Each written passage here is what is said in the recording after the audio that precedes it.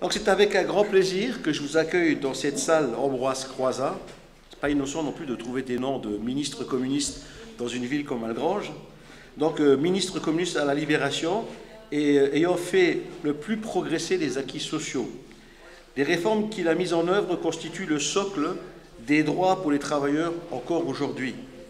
Les patrons n'ont jamais cessé de s'attaquer à ces réformes qui obligeaient à partager les richesses créé sous forme de droit à la retraite, droit à la santé avec la sécurité sociale, qu'on attribue injustement à Charles de Gaulle. Il n'a rien fait, Charles de Gaulle, sur la sécurité sociale. Vous êtes à Algrange, cité aux quatre mines.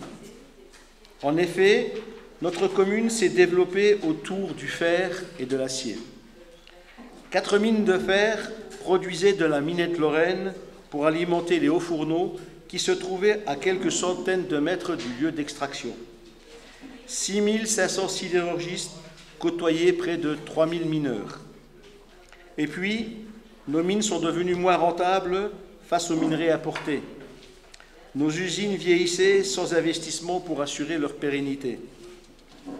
Les patrons étaient plus préoccupés par leur profit que par l'avenir de nos mines et de nos usines. L'argent gagné ici se délocalisait pour prendre le contrôle d'usines où la main-d'œuvre était moins chère qu'en France nous entrions dans un nouveau cycle du capitalisme. Les barons de l'acier, comme la famille Devadel, devenaient des financiers, et cessaient d'être des industriels.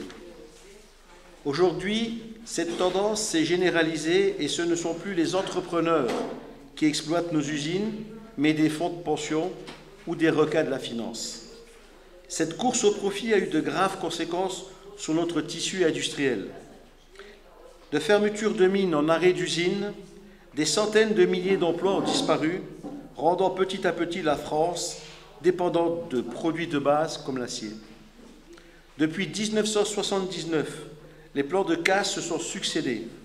Le plan d'Avignon, du nom d'un commissaire européen, a vu le déclin de industriel de la Lorraine s'accélérer.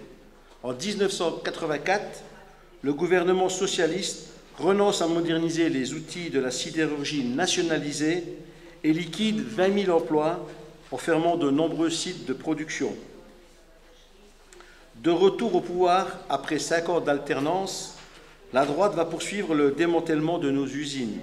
Longwy, Pompée, Micheville, pour ne parler que de la Lorraine, devenaient des champs d'expérimentation pour de nouvelles politiques de reconversion où des milliards étaient dépensés pour créer des zones qui devaient atterrir des entreprises à grands coups d'aide financière. L'échec de ces stratégies est visible partout sur le territoire.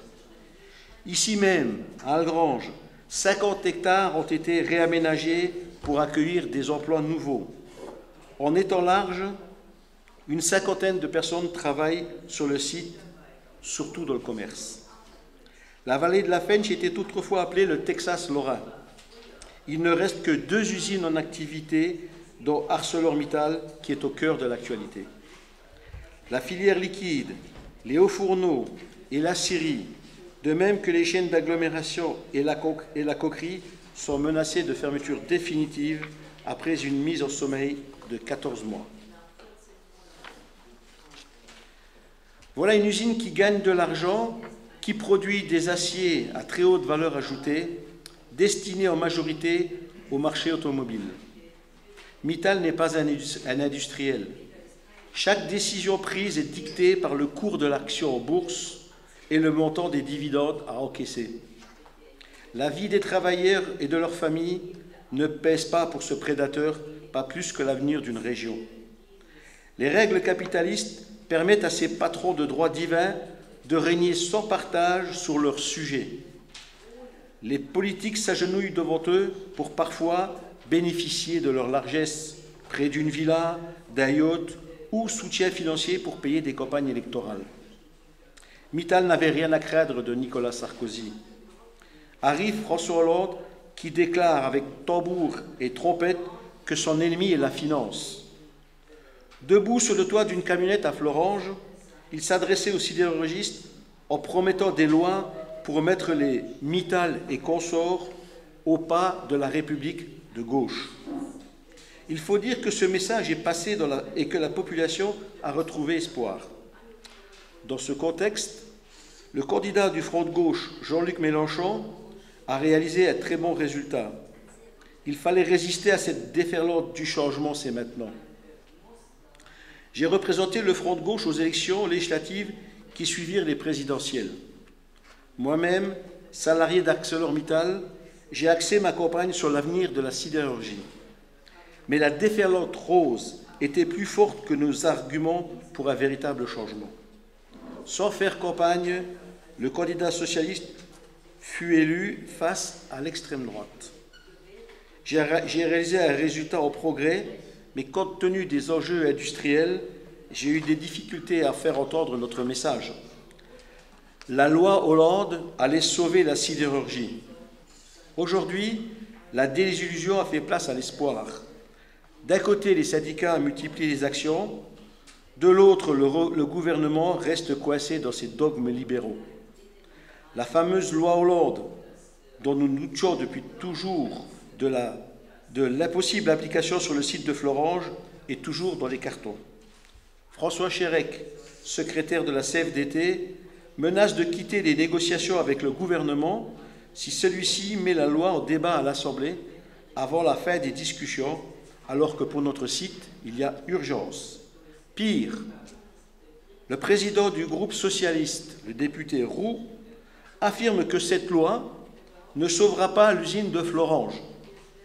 Elle ne peut s'appliquer dans notre situation. Les promesses s'envolent après cinq mois de pouvoir.